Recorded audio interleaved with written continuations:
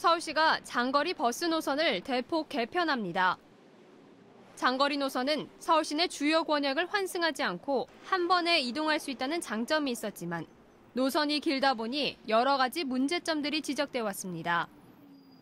장거리 노선 자체가 워낙 긴 시간을 한 번에 운행하다 보니까 운전자분들 굉장히 피로를 호소를 많이 하시, 하시고 저희한테 이제 그거를 개선을 해달라는 민원도 많이 제기를 하시고요.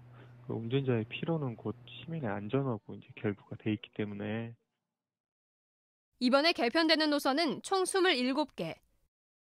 왕복 운행 거리가 60km 이상이거나 평균 운행 시간이 4시간인 노선이 해당됩니다.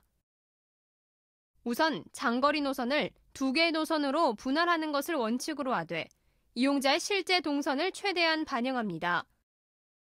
해당 노선의 교통카드 사용 데이터를 분석하고 대체 노선과 환승 가능 여부 등을 고려합니다.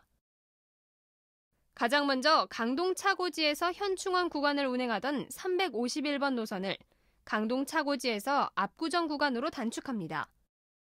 노원구 월계동에서 목동까지 운행하는 163번 노선은 월계동에서 신촌 노선과 신촌에서 목동 노선 등 두 개로 분할할 예정입니다. 나머지 노선에 대해서도 검토 결과에 따라 관계기관의 의견을 수렴해 바로 조정 절차에 들어갑니다.